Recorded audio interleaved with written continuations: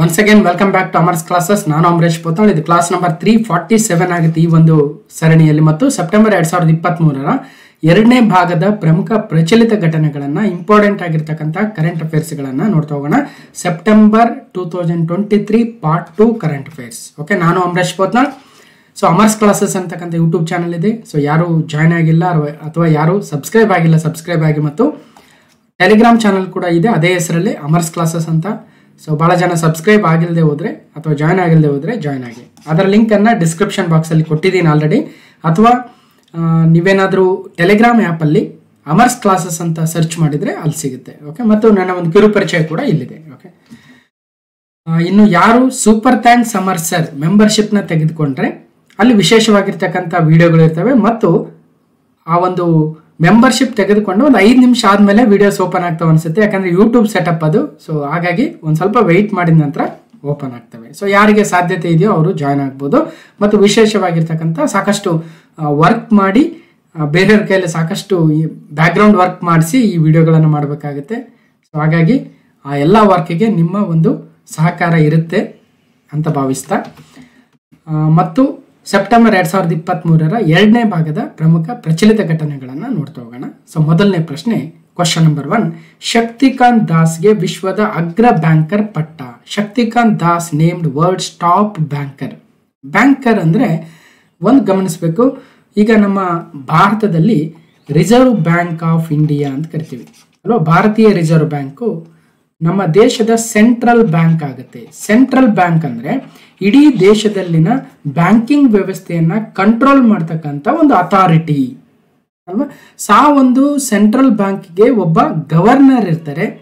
ಆ ಗವರ್ನರು ನಮ್ಮ ಶಕ್ತಿಕಾಂತ್ ದಾಸ್ ಅವರು ಇದ್ದಾರೆ ಹೀಗೆ ಭಾರತದ ಸೆಂಟ್ರಲ್ ಬ್ಯಾಂಕ್ನ ಗವರ್ನರ್ ಆಗಿರತಕ್ಕಂಥ ಶಕ್ತಿಕಾಂತ್ ದಾಸ್ ಅವರಿಗೆ ವಿಶ್ವದಲ್ಲಿಯೇ ಬೇರೆ ಬೇರೆ ದೇಶಗಳ ಸೆಂಟ್ರಲ್ ಬ್ಯಾಂಕ್ಗಳ ಗವರ್ನರ್ಗಳನ್ನು ಕಂಪೇರ್ ಮಾಡಿದಾಗ ನಂಬರ್ ಒನ್ ಪಟ್ಟ ಅಥವಾ ಅಗ್ರ ಬ್ಯಾಂಕರ್ ಪಟ್ಟ ಇವತ್ತು ದೊರಕಿದೆ.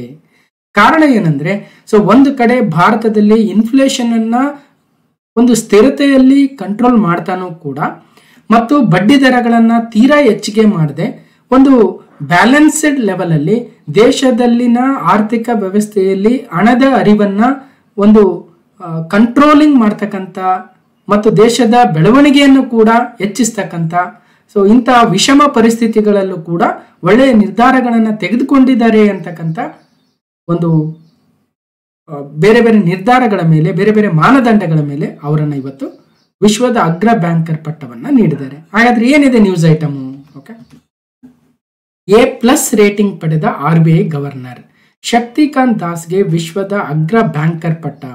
ವಿಶ್ವದ ಅಗ್ರ ಬ್ಯಾಂಕರ್ಗಳ ಪಟ್ಟಿಯಲ್ಲಿ ಭಾರತೀಯ reserve bank R B I governor Shaktikanta Das ಮೊದಲ ಸ್ಥಾನವನ್ನ ಪಡೆದಿದ್ದಾರೆ. ಹಾಗಾದರೆ ಯಾರು ಈ ಒಂದು ವರದಿಯನ್ನ ಬಿಡುಗಡೆ ಮಾಡಿದ್ದಾರೆ ಅಂದ್ರೆ ಜಾಗತಿಕ ಮಟ್ಟದ ಉನ್ನತ ಕೇಂದ್ರೀಯ ಬ್ಯಾಂಕರ್ಗಳ ಪಟ್ಟಿಯನ್ನ ಅಮೆರಿಕ ಮೂಲದ ನಿಯತಕಾಲಿಕೆ ಗ್ಲೋಬಲ್ ಫೈನಾನ್ಸ್. ಸೊ ಯಾವ ಒಂದು ನಿಯತಕಾಲಿಕೆ ಅಂದ್ರೆ ಗ್ಲೋಬಲ್ ಫೈನಾನ್ಸ್ ಅಂತಕ್ಕಂಥ ಡೈಲಿ ಪೇಪರ್ ಅಥವಾ ನ್ಯೂಸ್ ಪೇಪರ್ ಅನ್ಬೋದು. ಸೊ ಗ್ಲೋಬಲ್ ಫೈನಾನ್ಸ್ ಇದು ಅಮೆರಿಕ ಮೂಲದ್ದು ಶಕ್ತಿಕಾಂತ್ ಕಾರ್ಯಕ್ಷಮತೆಯನ್ನು ಗುರುತಿಸಿ ಎ ಪ್ಲಸ್ ರೇಟಿಂಗ್ ಅನ್ನ ನೀಡಲಾಗಿದೆ.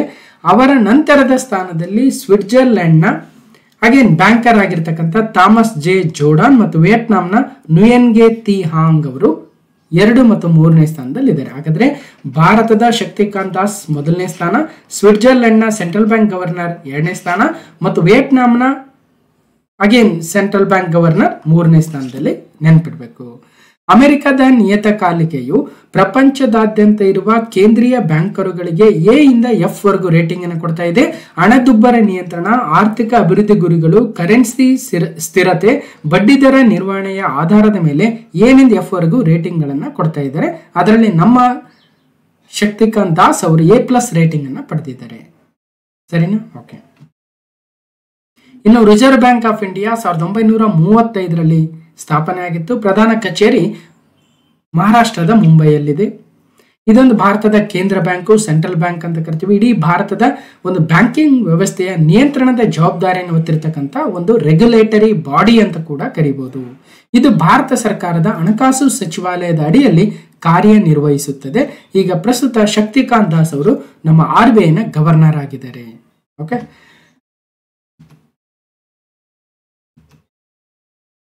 ನೆಕ್ಸ್ಟು ಇವ್ರಿಗೆ ಇತ್ತೀಚೆಗೆ ಶ, ಏನು governor of the year award ಕೂಡ ದೊರಕಿತ್ತು.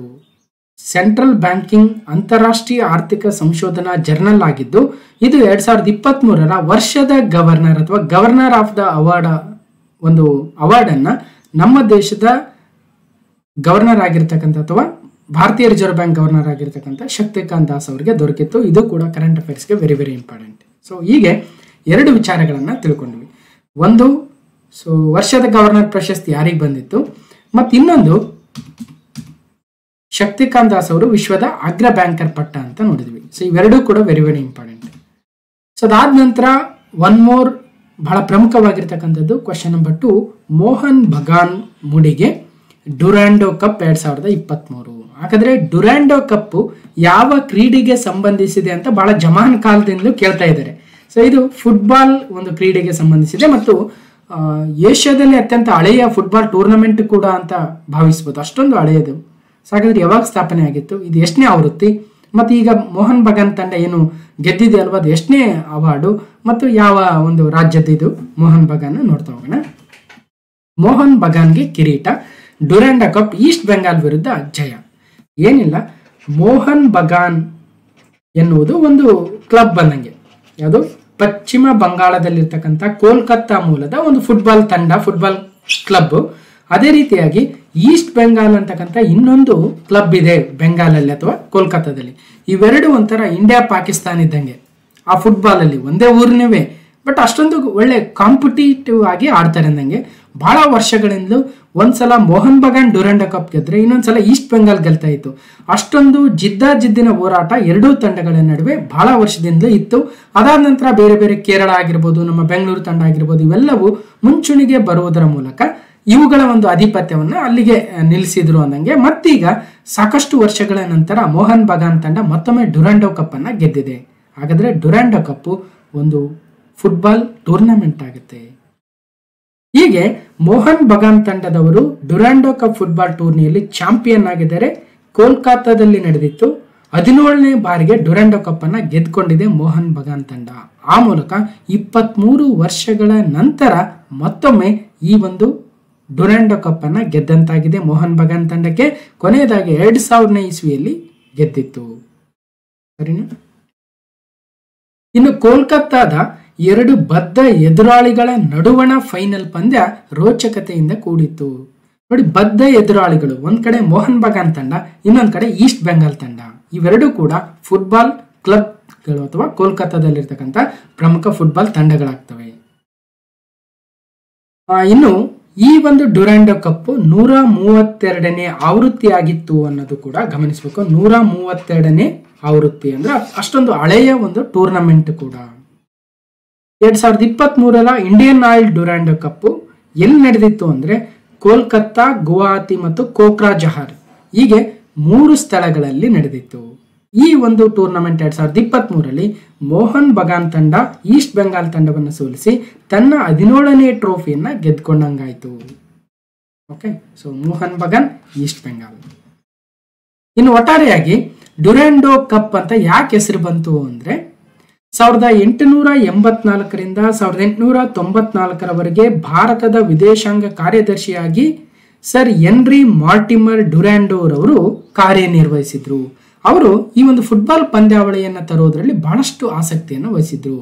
ಹಾಗಾಗಿ ಈ ಒಂದು ದೇಶೀಯ ಫುಟ್ಬಾಲ್ ಸ್ಪರ್ಧೆಯನ್ನು ಡುರ್ಯಾಂಡೋ ಅಂತ ಹೆಸರಿನಲ್ಲಿ ಕರಿತಾ ಇದ್ದೀವಿ. ಇದನ್ನು ಮೊದಲು ಸಾವಿರದ ಎಂಟುನೂರ ಎಂಬತ್ತೆಂಟರಲ್ಲಿ ಶಿಮ್ಲಾದಲ್ಲಿ ನಡೆಸಲಾಯಿತು.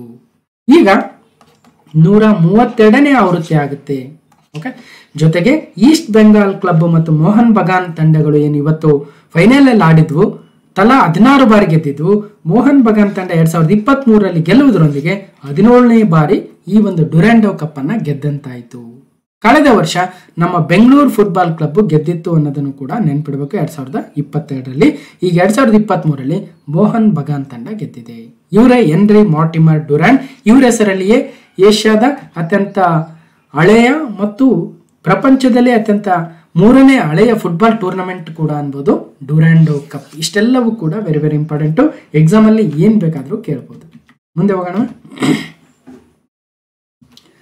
ಯುದ್ಧ ನೌಕೆ ಮಹೇಂದ್ರಗಿರಿ ನೌಕಾಪಡೆಗೆ ಸಮರ್ಪಣೆ. Warship Mahendragiri dedicated to navy ಎಲ್ಲಿ ಮತ್ತು ಯಾರು ಅದನ್ನು ಉದ್ಘಾಟನೆ ಮಾಡಿದ್ರು ಅದೆಲ್ಲವನ್ನು ನೋಡ್ತಾ ಹೋಗೋಣ.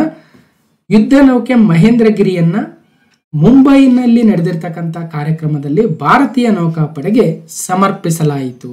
ಹಾಗಾದ್ರೆ ಮಹೇಂದ್ರಗಿರಿಯನ್ನ ಯಾರು ಅಭಿವೃದ್ಧಿಪಡಿಸಿದ್ದಾರೆ ಅಂದ್ರೆ Mazagon dock shipbuilders limited M D L ಅವರು ಅಭಿವೃದ್ಧಿಪಡಿಸಿದ್ದಾರೆ ಇದೊಂದು ಜಲಾಂತರ್ಗಾಮಿಗಳನ್ನ ನಾಶಪಡಿಸುವ ಸಾಮರ್ಥ್ಯವನ್ನು ಹೊಂದಿರತಕ್ಕಂಥ ಯುದ್ಧ ನೌಕೆಯಾಗುತ್ತೆ ಮಹೇಂದ್ರಗಿರಿ ಪ್ರಾಜೆಕ್ಟ್ ಸೆವೆಂಟೀನ್ ಎ ಅಡಿಯಲ್ಲಿ ನೌಕಾಪಡೆಗೆ ಸಮರ್ಪಿಸಲಾಗಿರುವ ಕೊನೆಯ ಹಾಗೂ ಏಳನೇ ಯುದ್ಧ ನೌಕೆಯು ಕೂಡ ಇದಾಗುತ್ತೆ. ಅತ್ಯಾಧುನಿಕ ಶಸ್ತ್ರಾಸ್ತ್ರಗಳು, ಸಂವೇದಕಗಳು, ಅತ್ಯುತ್ತಮ ನಿರ್ವಹಣಾ ಸಿಸ್ಟಮ್ಗಳನ್ನು ಒಳಗೊಂಡಿದೆ. ಒಡಿಸ್ಸಾದ ಪೂರ್ವ ಘಟ್ಟದಲ್ಲಿರುವ ಮಹೇಂದ್ರಗಿರಿ ಪರ್ವತದ ಹೆಸರನ್ನೇ ಈ ನೌಕೆಗೆ ಇಡಲಾಗಿದೆ. ಹಾಗಾದ್ರೆ ಮಹೇಂದ್ರಗಿರಿ ಎಲ್ಲಿ ಬರುತ್ತೆ ಅಂದ್ರೆ ಒಡಿಸ್ಸಾದ ಪೂರ್ವ ಘಟ್ಟಗಳಲ್ಲಿ ಬರ್ತಕ್ಕಂಥ ಒಂದು ಗಿರಿ ಪರ್ವತವಾಗುತ್ತೆ. ಅದರ ಹೆಸರನ್ನೇ ನಮ್ಮ ಈ ಒಂದು ಯುದ್ಧ ನೌಕೆಗೆ ಹೆಸರಿಡಲಾಗಿದೆ. ಮಹೇಂದ್ರಗಿರಿ. ಓಕೆ ಇದನ್ನ ಬಿಲ್ಡ್ ಮಾಡಿರ್ತಕ್ಕಂಥವ್ರು ಮಜ್ಗನ್ ಡಾಕ್ ಲಿಮಿಟೆಡ್. ಸೆಪ್ಟೆಂಬರ್ ಒಂದು, ಎರಡು ಸಾವಿರದ ಇಪ್ಪತ್ತ್ಮೂರರಂದು ನಮ್ಮ ಭಾರತದ ನೌಕಾ ಸೇನೆಗೆ ಸಮರ್ಪಣೆಯನ್ನ ಮಾಡಲಾಗಿದೆ. ಯಾರು ಸಮರ್ಪಣೆ ಮಾಡಿದ್ರು ಅಂದ್ರೆ ಉಪರಾಷ್ಟ್ರಪತಿ ಜಗದೀಪ್ ಧನ್ಕರ್ ಅವರ ಪತ್ನಿ ಸುದೇಶ ಅವರು ಯುದ್ಧ ನೌಕೆಯನ್ನು ಸಮರ್ಪಿಸಿದರು.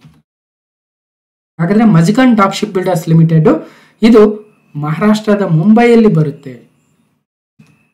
ಇನ್ನು ಇಂಡಿಯನ್ ನೇವಿ ಯಾರಿದ್ದಾರೆ ಅಂದರೆ ಅಡ್ಮಿರಲ್ ಆರ್ ಹರಿಕುಮಾರ್ ಅವರು, ನೇವಲ್ ಚೀಫ್ ಇದ್ದಾರೆ, ನೌಕಾಪಡೆಯ ಮುಖ್ಯಸ್ಥರಿದ್ದಾರೆ. ಸೊ, ನೆನ್ಪಿಡ್ಬೇಕು. ನೆಕ್ಸ್ಟ್ ಜಿ ಡಿ ಪಿ ಬೆಳವಣಿಗೆ ಶೇಕಡ ಆರು ಪಾಯಿಂಟ್ ಏಳರಷ್ಟು ಆಗ್ಬಹುದು ಭಾರತದ್ದು ಅಂತ ಮೂಡೀಸು ನಿರೀಕ್ಷೆಯನ್ನ ಮಾಡಿದೆ. ಸೊ ಮೂಡೀಸ್ ಅನ್ನುವುದು ಒಂದು ಫೋರ್ಕಾಸ್ಟಿಂಗ್ ಸಂಸ್ಥೆ ಆಗುತ್ತೆ, ಅಲ್ವಾ? ಸೊ ಭಾರತದ ಜಿ ಡಿ ಪಿ ಎಷ್ಟಾಗ್ಬೋದು ಗ್ಲೋಬಲ್ ಜಿ ಡಿ ಪಿ ಎಷ್ಟಾಗ್ಬೋದು, ಅಮೆರಿಕ ಜಿ ಡಿ ಪಿ ಎಷ್ಟಾಗ್ಬೋದು ಅಂತ ಕೆಲವೊಂದು ಸಂಸ್ಥೆಗಳಿದ್ದಾವೆ. ಅದು ಮೂಡೀಸ್ ಆಗಿರ್ಬೋದು, ಅಥವಾ S N P global rating ಆಗಿರ್ಬೋದು ಫಿಚ್ ರೇಟಿಂಗ್ ಆಗಿರ್ಬೋದು, ಇವು ಕೆಲವೊಂದು ಪ್ರೈವೇಟ್ ಆರ್ಗನೈಸೇಷನ್ಸ್ ಆಗ್ತವೆ. ಆದರೆ ವಿಶ್ವಸಂಸ್ಥೆ ಅಥವಾ world bank I M F ಕೂಡ ಆಗಾಗ ಭಾರತದ ಜಿ ಡಿ ಪಿಯ ಫೋರ್ಕಾಸ್ಟ್ ಅನ್ನು ಮಾಡ್ತಾ ಹೋಗ್ತಾರೆ. ಅವೆಲ್ಲವೂ ಕೂಡ ನಂಬರ್ಸ್ ವೆರಿ ವೆರಿ ಇಂಪಾರ್ಟೆಂಟ್ ಆಗುತ್ತೆ. ಸೊ ಇವತ್ತು ಮೂಡೀಸು ತನ್ನ ಒಂದು ಫೋರ್ಕಾಸ್ಟಿಂಗ್ ನಂಬರ್ಸನ್ನು ಕೊಟ್ಟಿದೆ. ಭಾರತದ ಜಿ ಡಿ ಪಿ ಬೆಳವಣಿಗೆ ಸುಮಾರು ಆರು ಪಾಯಿಂಟ್ ಏಳರಷ್ಟು ಆಗ್ಬೋದು ಎರಡು ಸಾವಿರದ ಇಪ್ಪತ್ತ್ಮೂರು ಇಪ್ಪತ್ನಾಲ್ಕನೇ ಸಾಲಿನಲ್ಲಿ ಅಂತ ಹೇಳಿದ್ದಾರೆ. ಸೊ ಮೂಡೀಸ್ ಇನ್ವೆಸ್ಟರ್ಸ್ ಸರ್ವಿಸಸ್ ಕಂಪನಿಯು ಭಾರತದ ಜಿ ಡಿ ಪಿ ಬೆಳವಣಿಗೆ ಮುನ್ನೋಟವನ್ನು ಪರಿಷ್ಕರಿಸಿದೆ. ಪರಿಷ್ಕರಿಸಿದೆ ಅಂದ್ರೆ ಮೊದಲು ಒಂದು ನಂಬರ್ ಹೇಳಿತ್ತು, ಈಗ ಅದನ್ನು ಬದಲಾವಣೆ ಮಾಡಿದೆ ಅಂದಂಗೆ. ಎರಡು ಸಾವಿರದ ಇಪ್ಪತ್ತ್ಮೂರನೇ ಕ್ಯಾಲೆಂಡರ್ ವರ್ಷದಲ್ಲಿ ಭಾರತದ ಜಿ ಡಿ ಪಿಯು ಶೇಕಡ ಆರು ಪಾಯಿಂಟ್ ಏಳರಷ್ಟು ಬೆಳವಣಿಗೆಯನ್ನು ಕಾಣಲಿದೆ ಅಂತ ಹೇಳಿದ್ದಾರೆ. ಅಂದ್ರೆ ಎರಡ್ ಸಾವಿರದ ಇಪ್ಪತ್ತ್ ಮೂರು ಏಪ್ರಿಲ್ ಒಂದರಂದು ಆರಂಭವಾಗ್ತಕ್ಕಂಥ ಎರಡ್ ಸಾವಿರದ ಇಪ್ಪತ್ತ್ ಮೂರನೇ ಕ್ಯಾಲೆಂಡರ್ ವರ್ಷ. ಇಲ್ಲಿ ಕ್ಯಾಲೆಂಡರ್ ವರ್ಷ ಅಂತ ಹೇಳಿದರೆ ಗಮನಿಸಬೇಕು. ಸೊ ಶೇಕಡ ಆರು ಪಾಯಿಂಟ್ ಏಳರಷ್ಟು ಬೆಳವಣಿಗೆಯನ್ನು ಕಾಣಲಿದೆ. ಅಂದ್ರೆ ಎರಡ್ ಸಾವಿರದ ಇಪ್ಪತ್ತ್ ಮೂರರ ಜನವರಿ ಒಂದರಿಂದ ಎರಡ್ ಸಾವಿರದ ಇಪ್ಪತ್ತ್ ಮೂರರ ಡಿಸೆಂಬರ್ ಮೂವತ್ತೊಂದರವರೆಗೂ ಒಂದು ಕ್ಯಾಲೆಂಡರ್ ವರ್ಷವಾಗುತ್ತೆ. ಇದರಲ್ಲಿ ಶೇಕಡ ಆರು ಪಾಯಿಂಟ್ ಏಳರಷ್ಟು ಬೆಳವಣಿಗೆಯನ್ನು ಭಾರತ ದೇಶ ಕಾಣಲಿದೆ ಅಂತ ಹೇಳ್ತಾ ಇದ್ದಾರೆ. ಈ ಹಿಂದೆ ಶೇಕಡ ಐದರ ಪಾಯಿಂಟ್ ಐದರಷ್ಟು ಬೆಳವಣಿಗೆ ಕಾಣಬಹುದು ಅಂತ ಹೇಳಿದ್ರು.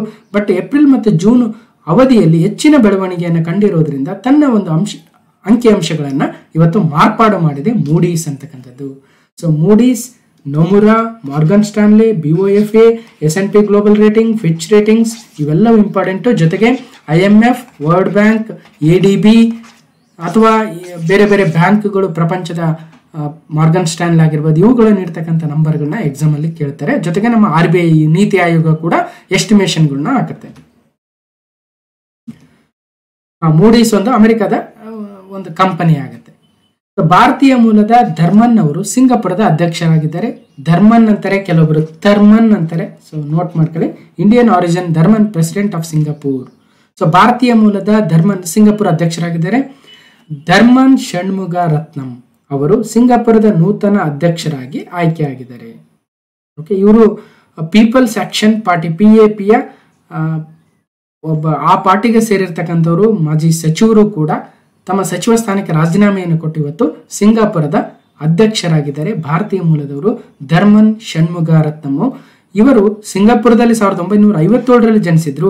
ಆದರೆ ಅವರ ತಂದೆ ಪ್ರೊಫೆಸರ್ ಕೆ ಷಣ್ಮುಗರತ್ನಂ ಅವರು ಭಾರತೀಯ ಮೂಲದವರು ಮತ್ತು ಸಿಂಗಾಪುರಕ್ಕೆ ಹೋಗಿ ಅಲ್ಲಿ ವೈದ್ಯರಾಗಿದ್ದರು ಅಂತಕ್ಕಂಥ ಸೊ ಥರ್ಮನ್ ಷಣ್ಮುಗರತ್ನಂ ಅಂತ ಒಂದು ಕಡೆ ಕೊಟ್ಟಿದ್ದಾರೆ. ಸ್ವಲ್ಪ ಗಮನಿಸಿ. ಇವರು ಭಾರತೀಯ ಮೂಲದವರು ಸಿಂಗಾಪುರದ ಅಧ್ಯಕ್ಷ ಸ್ಥಾನಕ್ಕೆ ಏರಿರ್ತಕ್ಕಂಥ ಮೂರನೇ ಭಾರತೀಯ ಮೂಲದವರು ಅನ್ನೋದನ್ನು ಕೂಡ ಗಮನಿಸಬೇಕು. ಸಿಂಗಾಪುರ ಎಲ್ಲಿ ಬರುತ್ತೆ? ನಮ್ಮ ಏಷ್ಯಾದ ಏನಂತೀವಿ? ಸೌತ್ ಈಸ್ಟ್ ಏಷ್ಯಾದಲ್ಲಿ ಬರ್ತಕ್ಕಂಥ ಒಂದು ದೇಶ, ಆಗ್ನೇಯ ಏಷ್ಯಾದಲ್ಲಿ ಬರುವ ಒಂದು ಪುಟ್ಟ ರಾಷ್ಟ್ರವಾಗುತ್ತೆ. ಸಿಂಗಾಪುರ್ ಸಿಂಗಾಪುರ್ ಕೂಡ ಅದರ ರಾಜಧಾನಿಯೇ. ಹೀಗೆ ಥರ್ಮನ್ ಷಣ್ಮಗರತ್ನಂ ಇವತ್ತು ಪ್ರೆಸಿಡೆಂಟ್ ಆಗಿದ್ದಾರೆ, ನೂತನ ಪ್ರೆಸಿಡೆಂಟ್ ಆಗ್ತಾರೆ. ಲೀ ಎಜನ್ ಲೂಂಗ್ ಅವರು ಸಿಂಗಾಪುರದ ಪ್ರಧಾನಮಂತ್ರಿಗಳಿದ್ದಾರೆ. ಮನೀಶ್ ದೇಸಾಯಿ ಅವರು ಪತ್ರಿಕಾ ಮಾಹಿತಿ ಬ್ಯೂರೋದ ಪ್ರಧಾನ ಕಾರ್ಯದರ್ಶಿ ನಿರ್ದೇಶಕರಾಗಿ ಅಧಿಕಾರವನ್ನು ವಹಿಸಿಕೊಂಡಿದ್ದಾರೆ. Manish Desai takes charges principal director general press information bureau ಅಥವಾ ಪಿ ಐ ಬಿ ನೀವು ಭಾಳ ಕಡೆ ಪಿ ಐ ಬಿ ನ್ಯೂಸನ್ನು ನೋಡ್ತಾ ಇರ್ತೀರಿ. ಅಲ್ವಾ? ಎಕ್ಸಾಮಲ್ಲಿ ಬರ್ಬೋದು ಅಂತ. ದೊಡ್ಡ ದೊಡ್ಡ ಎಕ್ಸಾಮಲ್ಲಿ ಭಾಳ ಬರ್ತವೆ ಬಟ್ ಚಿಕ್ಕ ಪುಟ್ಟ ಎಕ್ಸಾಮಲ್ಲಿ ಪಿ ಐ ಬಿ ನ್ಯೂಸ್ ಅಷ್ಟೇ ನ್ಯೂಸ್ ಆಗಲ್ಲ. ಸೊ ಹಾಗಾಗಿ P C P S I ಅಥವಾ ಎಸ್ ಟಿ ಎ ಲೆವೆಲ್ಗೆ ಪಿ ಎ ಬಿ ನ್ಯೂಸ್ ಏನು ಅಷ್ಟು ಇಂಪಾರ್ಟೆಂಟ್ ಅಲ್ಲ? ಅದನ್ನೆಲ್ಲ ನಾವೇ cover ಮಾಡಿಬಿಡ್ತೀವಿ. K S I A S ಓದ್ತಕ್ಕಂಥವ್ರಿಗೆ P A B news very important right ಇವತ್ತು ಪಿ ಐ ಬಿ ನ್ಯೂಸ್ನ ಅಥವಾ P I B press information ಬ್ಯೂರೋದ principal director general ಆಗಿ ಮನೀಶ್ ದೇಸಾಯಿ ಅವರು ಇವತ್ತು ಅಧಿಕಾರವನ್ನು ವಹಿಸಿಕೊಂಡಿದ್ದಾರೆ. ಪಿ ಐ ಬಿ ಪ್ರಧಾನ ಡಿ ಜಿ ಹುದ್ದೆಗೆ ಮನೀಶ್ ಮನೀಶ್ ದೇಸಾಯಿ ಅವರು ಪ್ರೆಸ್ ಇನ್ಫಾರ್ಮೇಷನ್ ಬ್ಯೂರೋದ ಪ್ರಧಾನ ಡಿ ಜಿ ಆಗಿ ಅಧಿಕಾರವನ್ನು ವಹಿಸಿಕೊಂಡಿದ್ದಾರೆ. ಅಷ್ಟು ಇನ್ಫಾರ್ಮೇಷನ್ ಆಗುತ್ತೆ. ಎಲ್ಲಿದೆ? ಇದರ ಒಂದು ಪ್ರಧಾನ ಕಚೇರಿ ನ್ಯೂ ದೆಹಲಿಯಲ್ಲಿದೆ. ಸಾವಿರದ ಒಂಬೈನೂರ ಹತ್ತೊಂಬತ್ತರಲ್ಲಿ ಪ್ರೆಸ್ ಇನ್ಫಾರ್ಮೇಷನ್ ಬ್ಯೂರೋ ಸ್ಥಾಪನೆಯಾಗಿತ್ತು. ಮನೀಶ್ ದೇಸಾಯಿ ಇವತ್ತು ಪ್ರಿನ್ಸಿಪಲ್ ಡೈರೆಕ್ಟರ್ ಜನರಲ್ ಆಗಿದ್ದಾರೆ. Next question number seven Almatti ಅಣೆಕಟ್ಟು ಬಗ್ಗೆ ಒಂದು ಸ್ವಲ್ಪ ನ್ಯೂಸ್ ಇದೆ. ಏನಿದೆ? ಆಲಮಟ್ಟಿ ಅಣೆಕಟ್ಟು ಕೃಷ್ಣೆಯ ಜಲದಿಗೆ ಗಂಗಾ ಪೂಜೆ ಹಾಗೂ ಬಾಗಿನ ಅರ್ಪಣೆಯನ್ನು ಮುಖ್ಯಮಂತ್ರಿ ಸಿದ್ದರಾಮಯ್ಯನವರು ಮಾಡಿದ್ರು. ಹಾಗಾಗಿ ಸುದ್ದಿಲಿದೆ. ಆಲಮಟ್ಟಿ ಅಣೆಕಟ್ಟು ಎಲ್ಲಿ ಬರುತ್ತೆ ಅಂತ ಬಹಳ ಕಡೆ ಕೇಳ್ತಾರೆ. ಆಲಮಟ್ಟಿ ಅಣೆಕಟ್ಟನ್ನು ಯಾವ ಒಂದು ನದಿಗೆ ಅಡ್ಡಲಾಗಿ ಕಟ್ಟಿದ್ದಾರೆ ಅಂತ ಕೇಳ್ತಾರೆ. ಅದೆಲ್ಲವನ್ನು ಒಂಚೂರು ಇವತ್ತು ಡಿಸ್ಕಷನ್ ಮಾಡ್ತಾ ಹೋಗೋಣ. ಸೊ ಇಲ್ಲಿ ಲಾಲ್ ಬಹದ್ದೂರ್ ಶಾಸ್ತ್ರಿ ಸಾಗರ ಅಂತ ಬರೆದಿದ್ದಾರೆ. ಬಹಳಷ್ಟು ದೊಡ್ಡ ಒಂದು ಜಲಾಶಯವಾಗುತ್ತೆ. ಕೃಷ್ಣಾ ನದಿಗೆ ಬಾಗಿನ ಅರ್ಪಿಸಿದ ಸಿದ್ದರಾಮಯ್ಯ. ಹೀಗೆ ಕೃಷ್ಣಾ ನದಿ ಮಹಾರಾಷ್ಟ್ರದ ಪಶ್ಚಿಮ ಘಟ್ಟ ಪ್ರದೇಶವಾಗಿರ್ತಕ್ಕಂಥ ಸತಾರ ಜಿಲ್ಲೆಯ ವಾಯಿ ತಾಲೂಕಿನ ಜೋರ್ ಎಂಬ ಹಳ್ಳಿಯ ಸಮೀಪದ ಮಹಾಬಲೇಶ್ವರದಲ್ಲಿ ಉಗಮವಾಗುತ್ತೆ. ಓಕೆ ಸೊ ನಂತರ ಈ ಒಂದು ಕೃಷ್ಣಾ ನದಿಯು ಕರ್ನಾಟಕವನ್ನು ಪ್ರವೇಶಿಸಿ ಬಿಜಾಪುರ ಜಿಲ್ಲೆಯ ಬಸವನ ಬಾಗೇವಾಡಿ ತಾಲೂಕಿನಲ್ಲಿ ಅದಕ್ಕೆ ಆಲಮಟ್ಟಿ ಅಣೆಕಟ್ಟನ್ನು ನಿರ್ಮಿಸಲಾಗಿದೆ. ಎರಡ್ ಸಾವಿರದ ಐದರಲ್ಲಿ ಅದು ಪೂರ್ಣಗೊಂಡಿತ್ತು. ಇದನ್ನ ಲಾಲ್ ಬಹದ್ದೂರ್ ಶಾಸ್ತ್ರಿ ಸಾಗರ ಅಣೆಕಟ್ಟು ಅಂತ ಕೂಡ ಕರಿತೀವಿ. ಸುಮಾರು ನೂರ ಇಪ್ಪತ್ತ್ಮೂರು ಪಾಯಿಂಟ್ ಎರಡು ಐದು ಟಿ ಎಂ ಸಿ ಫೀಟ್ ಸಂಗ್ರಹಣಾ ಸಾಮರ್ಥ್ಯದ ಕೃಷ್ಣಾ ನದಿಗೆ ಅಡ್ಡಲಾಗಿ ಕಟ್ಟಲಾಗಿರ್ತಕ್ಕಂಥ ಅಣೆಕಟ್ಟು ಬಿಜಾಪುರ ಮತ್ತು ಬಾಗಲಕೋಟೆ ಜಿಲ್ಲೆಗಳ ಗಡಿಯಲ್ಲಿದೆ ಅಂತ ಹೇಳ್ತಾರೆ ಮತ್ತು ಭೌಗೋಳಿಕವಾಗಿ ಇದು ಬಿಜಾಪುರ ಜಿಲ್ಲೆಯಲ್ಲಿಯೇ ಇದೆ.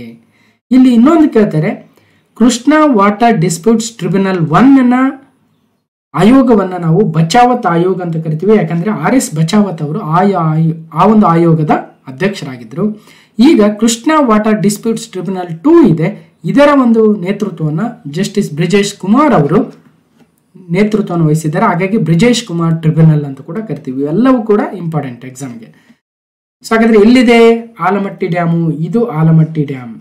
ಓಕೆ ಒಂದು ನಿಮಿಷ. ರೈಟ್ ಇದು ಆಲಮಟ್ಟಿ ಡ್ಯಾಮು. ಇದು ಕೃಷ್ಣಾ ನದಿ ಈಗ ಹರಿದು ಬರುತ್ತೆ. ಸೊ ಬಸವನ ಬಾಗೇವಾಡಿ ಹತ್ತಿರ, ಇಲ್ಲಿ ಬಿಜಾಪುರ ಜಿಲ್ಲೆಯಲ್ಲಿ ಈ ಒಂದು ಆಲಮಟ್ಟಿ ಡ್ಯಾಮ್ ಅನ್ನ ಕಟ್ಟಿದ್ದಾರೆ. ಆಲಮಟ್ಟಿ ಡ್ಯಾಮ್ಗೆ ಘಟಪ್ರಭಾ ನದಿಯು ಬಂದು ಸೇರುತ್ತದೆ. ಮುಂದೆ ಆ ಒಂದು ಆಲಮಟ್ಟಿ ಡ್ಯಾಮ್ನಿಂದ ಮುಂದೆ ಹರಿದಿರ್ತಕ್ಕಂಥ ಕೃಷ್ಣೆ ಹಾಗೆ ಹರಿದು ಹೋಗಿ ಕೂಡಲ ಸಂಗಮದ ಹತ್ತಿರ ಮಲಪ್ರಭಾ ನದಿಯು ಬಂದು ಕೃಷ್ಣಾ ನದಿಯನ್ನ ಸಂಗಮವಾಗುತ್ತದೆ. ಇವು ಎರಡು ಮತ್ತೆ ಮುಂದೆ ಹಾಗೆ ಹರಿದು ಹೋಗಿ ಯಾದಗಿರಿ ಜಿಲ್ಲೆಯ ಸುರಪುರ ತಾಲೂಕಿನ ಹುಣಸಗಿ ಹತ್ರ ಅನ್ಸುತ್ತೆ. ಅಲ್ಲಿ ನಾರಾಯಣಪುರ ಅಣೆಕಟ್ಟನ್ನ ಅಥವಾ ಬಸವಸಾಗರ ಅಣೆಕಟ್ಟನ್ನ ಕಟ್ಟಲಾಗಿದೆ. ಮುಂದೆ ಇದೆ, ಅದರ ಬಗ್ಗೆ ನೋಡೋಣ. ಹೀಗೆ ಯಾದಗಿರಿ ಜಿಲ್ಲೆ ಹುಣಸಗಿ ತಾಲೂಕು, ಇವತ್ತು ಹುಣಸಗಿ ಸೆಪರೇಟ್ ತಾಲೂಕು ಆಗಿದೆ ಕರೆಕ್ಟ್ ಸೊ ಅಲ್ಲಿ ನಾರಾಯಣಪುರದ ಹತ್ತಿರ ಬಸವಸಾಗರ ಅಣೆಕಟ್ಟನ್ನ ಸಾವಿರದ ಒಂಬೈನೂರ ಎಂಬತ್ತೆರಡರಲ್ಲಿ ನಿರ್ಮಿಸಲಾಗಿದೆ ಅನ್ನೋದನ್ನ ಗಮನಿಸಬೇಕು. ಓಕೆ ಸರಿ. ಇನ್ನು ಕೃಷ್ಣಾ ನದಿಯು, ಈಗ ಆಲ್ರೆಡಿ ನೋಡಿದ್ವಿ, ಎಲ್ಲಿ ಉಗಮವಾಗುತ್ತದೆ ಅಂತ, ಅಲ್ವಾ? ಸೊ ನಂತರ ಆಂಧ್ರ ಪ್ರದೇಶದ ಕೃಷ್ಣಾ ಜಿಲ್ಲೆಯ ಅಂಶಲಾದೇವಿ ಎಂಬಲ್ಲಿ ಬಂಗಾಳ ಕೊಲ್ಲಿಯನ್ನ ಸೇರುತ್ತದೆ. ಇದು ಗೋದಾವರಿಯ ನಂತರ ದಕ್ಷಿಣ ಭಾರತದ ಎರಡನೇ ಅತಿ ದೊಡ್ಡ ನದಿ, ಸುಮಾರು ಸಾವಿರದ ನಾಲ್ಕುನೂರು ಕಿಲೋಮೀಟರ್ ಉದ್ದ ಹರಿಯುತ್ತೆ. ನಮ್ಮ ರಾಜ್ಯದಲ್ಲಿ ನಾಲ್ಕುನೂರ ಎಂಬತ್ಮೂರು ಕಿಲೋಮೀಟರ್ ಹರಿಯುತ್ತೆ ಮತ್ತು ಒಂದು ಲಕ್ಷದ ಹದಿಮೂರು ಸಾವಿರದ ಮೂವತ್ತು ಚದರ ಕಿಲೋಮೀಟರ್ ಜಲಾನಯನ ಪ್ರದೇಶವನ್ನ ಹೊಂದಿರತಕ್ಕಂಥ ಕೃಷ್ಣೆ ನಮ್ಮ ರಾಜ್ಯದ ಸುಮಾರು ಹದಿನೇಳರಿಂದ ಹದಿನೆಂಟು ಜಿಲ್ಲೆಗಳನ್ನು ವ್ಯಾಪಿಸಿರ್ತಕ್ಕಂಥ ಒಂದು ಅತಿ ದೊಡ್ಡ ನದಿಯಾಗುತ್ತೆ. ಯಾವ್ದ್ಯಾವುದು?